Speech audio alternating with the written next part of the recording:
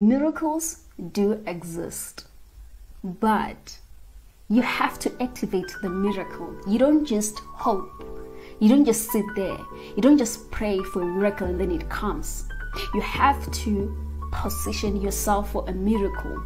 If you want to get a job, you don't just sit at home and expect a phone call from the HR department.